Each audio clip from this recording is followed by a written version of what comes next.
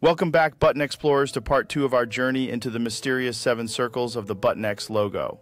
Last time we had llamas, lost socks, and a lot of pizza. Well, I've been ruminating on the fifth circle. What if it leads to the realm of permanent mismatched Tupperware lids? No way.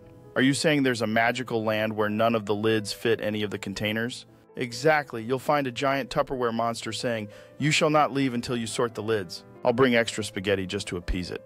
Or maybe a treasure map to the lost lids, like pirates but with leftovers. R matey, join me on this quest to find the lid to the great container of lasagna. Moving on, what do you think the sixth circle could be hiding? I've got it! The sixth circle could be the crypt of misplaced remote controls. Yes, a dark, eerie place where all remotes go to die. And the inhabitants are rogue batteries that refuse to recharge.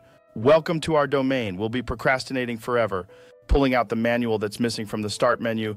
Uh, who really needs instructions anyway? And don't forget, the seventh circle could be an interdimensional portal to the land of unread books. Oh no, my book collection has disappeared into the void.